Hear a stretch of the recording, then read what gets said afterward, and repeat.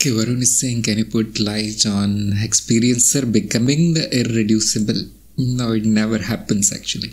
I say that, you know, sometimes because there is no other explanation. Since there is no separation between the experience and the experiencer, what is what can we say in language under the limits of the intellect is that the experience is the experiencer.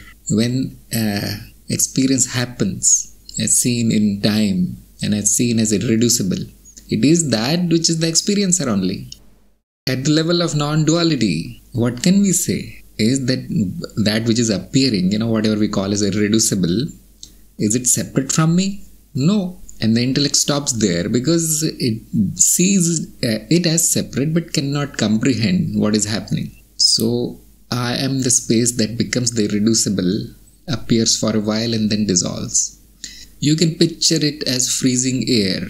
And this only metaphor, do not think that it is true. There is no, I mean, no comparison at all but our intelli- intelligence has a limit. What is happening? When I say that when you see the red, you become the red. Now, how to comprehend this at the level of non duality? That is what is there, isn't it?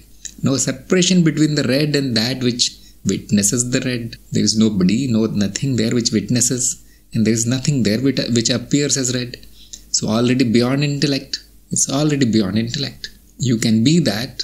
You can be the red and you, you can be the witness of the red and you can be the same two things at the same time. Yes i am that. But how to understand it? You know there is a metaphor of freezing air. Imagine you are the air. Now there a part of the air freezes and takes on a shape.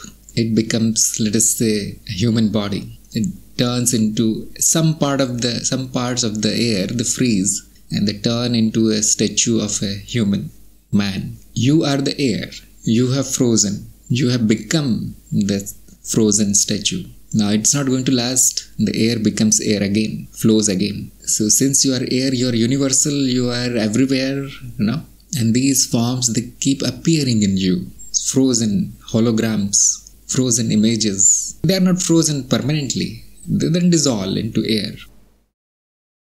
This is a very good metaphor which those who have visualization you know skills they will be able to see it immediately. The things appear in me. They appear to be solid for a while. Solid does not mean solid matter, you see. They take a shape, they take a form for a while, and then they dissolve. Isn't that happening all the time? Yes. So I'm becoming everything. I'm becoming all the forms, all the, that is non essential part of the air. The essential part of the air is being air, the substance of the air.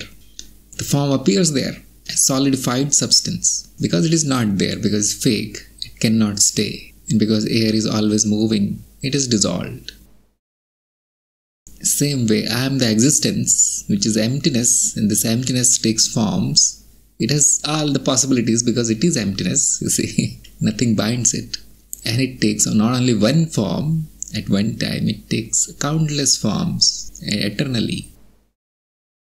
That is how it is. The dream is the dreamer, and the dreamer is the dream. So it is very beautiful, mind blowing, amazing, and everything. That is what everything is. That is what your first chapter in the program says, isn't it? You know this much. The solid air metaphor don't need program, don't need anything. All details after this. Too much detail. This this thing is so simple and so so beautiful. Do not try to picture it from a third person point of view you, know, you become the air and see what happens now. Why did i say air not like space like everybody else you know great gurus always say. Gagano openam i'm like the sky. I'm like the space. No our intellect, intellect does not have the capacity to imagine that space taking a form although you can your intellect will resist and it will say, oh, there is nothing there, take form. So, air, give it a substance, such a minute substance, subtle substance. And then, then the intellect has no problem imagining that the air particles are coming together and they're forming an image. You can touch it, you can be it, you can move it around, then you dissolve it.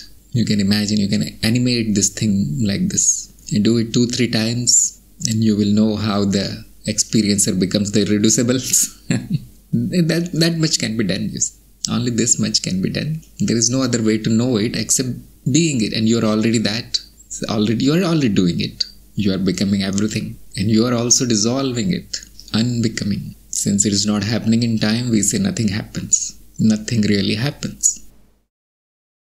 Now, the more you think about it, the more you try to grasp it, it will be totally ineffective. That is, running the engine without uh, putting the car in gear, if ineffective. This much is okay. So, this human form is me.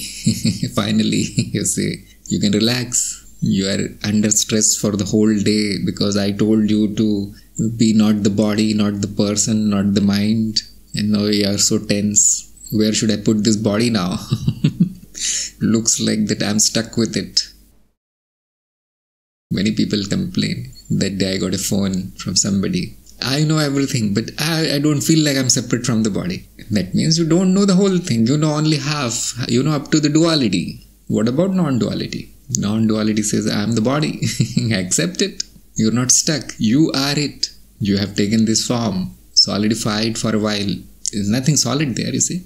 All illusion when you dream in the night, there is a body, isn't it? There is a world, there are relatives, and all that drama is there. When you wake up, do you feel like I was stuck there? There will be a feeling for five minutes, possible.